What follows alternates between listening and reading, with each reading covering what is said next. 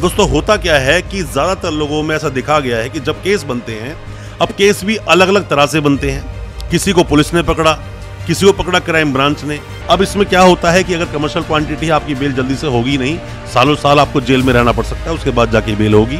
दोस्तों NDPS case में NDPS एक ऐसा केस है दोस्तों, जिसके अंदर की कन्विक्शन रेट बहुत हाई है। मतलब कि आप जब बेल ले भी लेते हो तो उसके बाद सजा होने के चांसेस बहुत ज़्यादा दोस्तों रहते हैं। अब होता क्या है कि इसमें केस तो आप लड़ते हो या फिर अपने वकील साहब से केस तो लड़वाते हो, बट केस को बड़ा हल्का छोड़ देते हो। ये कोई मारपीट का दोस्तों केस नहीं होता एनडीपीएस। एनडीपीएस एक ऐसा केस है जिसके अंदर आपने थोड़ी सी भी अगर गलती की, थोड़ी सी भी ढील बरती तो दोस्तों सजा पक्की है। और पहली बात तो इस केस में जल्दी से लोगों को बेल मिलती नहीं। और जिनको बेल मिल भी जाती है तो वो ठीक से केस लड़ते नहीं, और ठीक से केस लड़ोगे नहीं तो कन्विक्शन आपका हो ही जाएगा।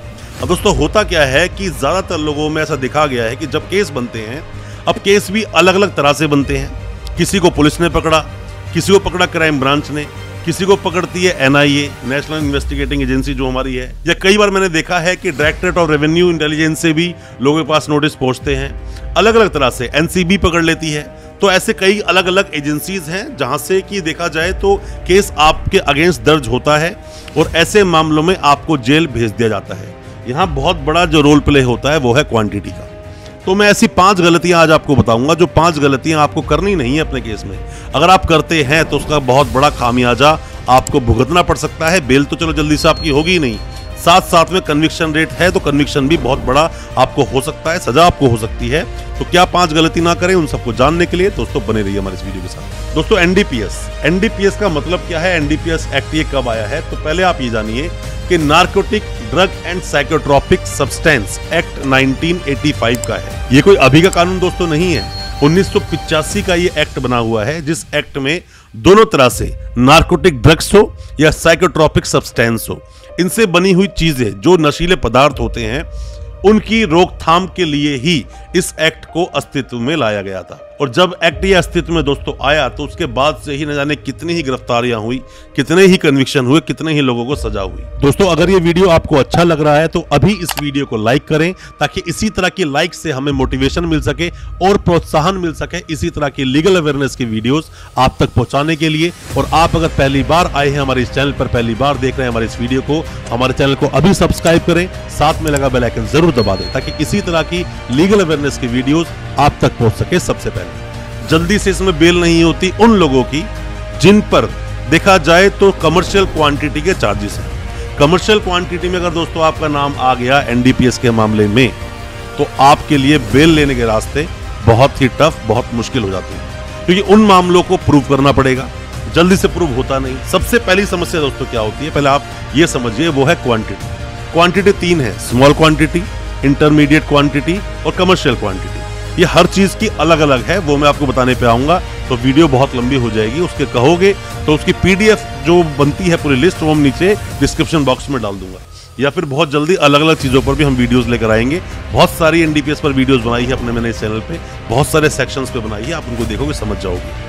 अब इसमें क्या होता है कि अगर कमर्शियल क्वांटिटी आपकी बेल जल्दी से होगी नहीं, सालों साल आपको जेल में रहना पड़ सकता है, उसके बाद जाके बेल होगी। और जो स्मॉल क्वांटिटी है, उनकी बेल थोड़ा इजीली हो जाती है। इंटरमीडिएट वालों को भी बेल थोड़ा देर से ही मिलती है। तो क्वांटिटी को समझना चाहिए आपको। कमर्शियल क्वांटिटी में आप पकड़े गए हो, आप सोच रहे हो, मैं तो बस आज गया हूँ, दो महीने जेल से बाहर आ जाऊँगा। ऐसा नहीं होता दोस्तों। आपके वकील साहब जो केस लड़ते हैं और जो एनडीपीएस के बारे में नॉलेज रखते हैं, वो जानते हैं कितना मुश्किल है ऐसे केसेस में बेल दिलाना। इतना आसान नहीं है कि दस दिन के अंदर हम बेल ले लेंगे। ऐसा नहीं होता। पहली बात क्वांटिटी को आप ध्यान रखें और सिर्फ़ ऐसे हल्के में इस केस को ना लें। दूसरी बात इसमें कन्विक्शन रेट दोस्तों बहुत हाई है।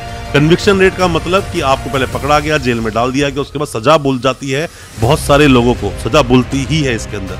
तो कन्विक्शन रेट हाई इसीलिए है क्योंकि यहाँ पर ऐसा मानना है, ऐसा देखना है कि जो लोग पकड़े गए हैं, उन्होंने वो अपराध किया है।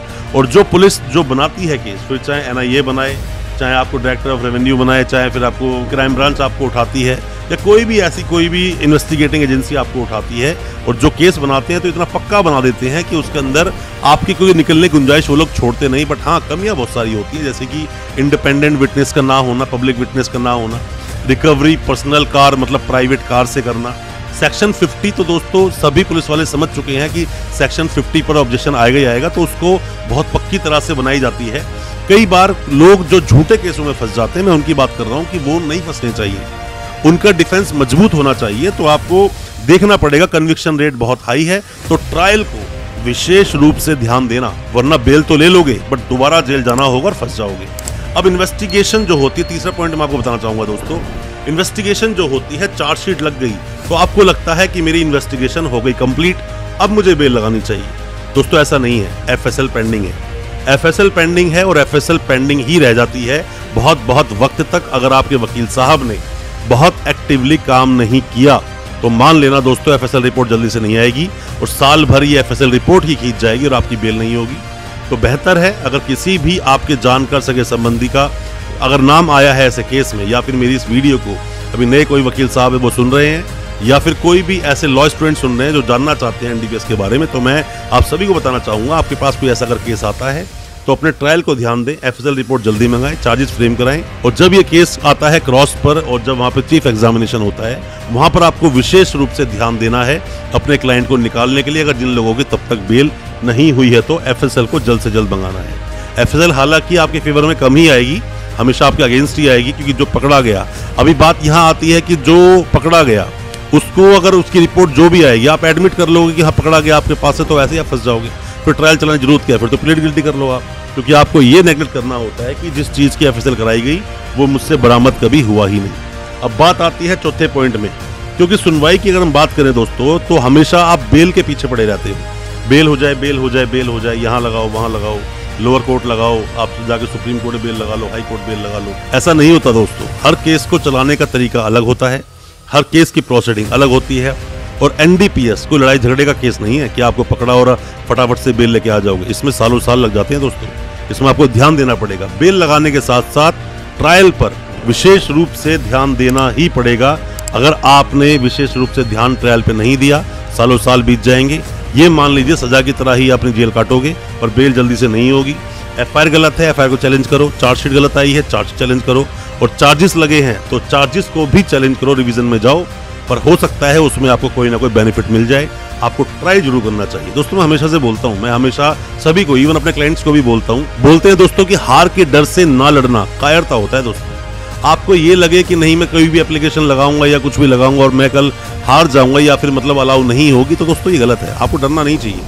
आप किसी भी तरह से, आप एक कानून के रक्षक हो। आप भी कानून के रक्षक हो, जो कानून को गलत किसी के साथ ना हो जाए। किसी के भी साथ इनजस्टिस ना हो जाए, उसमें हम सभी वकील लोग बहुत बड़ा योगदान देते हैं।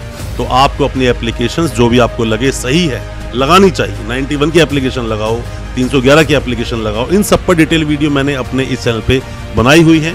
वो सब वीडियोस आप देखोगे, बहुत कुछ आपको सीखने को मिलेगा। पांचवी बात दोस्तों बनाना चाहूँगा मैं आपको, क्या आपको और ध्यान रखना है कि कोई भी आपका व्यक्ति मतलब कोई भी सगा संबंधी जानकर अगर जेल में है, वकील साहब बहुत अच्छे से जानते हैं केस को कैसे लड़ना है। अगर उन वकील साहब ने पहले भी अगर एनडीपीएस के केसेस लड़े हैं तो और अच्छे से केस वो लड़ेंगे। आप उन्हें परेशान बार बार ना करें कि आप ऐसा लगाओ, वैसा लगाओ बेल क्यों नहीं हो रही है? तो उस चीज़ में दबाव में वकील साहब आ जाते हैं और फिर केस को ठीक से लड़ते नहीं हैं। अगर आपको लगता है कि वो वकील साहब पहले एन एनडीपीएस के केस में नहीं आए हैं या फिर एनडीपीएस केस नहीं लड़े हैं तो एक बात अलग है, आप वकील साहब बदल दोगे। पर जो वकील साहब एनडीपीएस के केसेस लड़ते हैं, उन्हें पता होता है बाकी तो आप पर डिपेंड करता है कि आप कैसे वकील साहब रखोगे, क्योंकि वकील साहब अपनी पसंद के आपको अपने केस में रखने का पूरा अधिकार है, जो फंडामेंटल राइट है आपका, किसी को छीन नहीं सकता, वो डिपेंड आप पर करता है।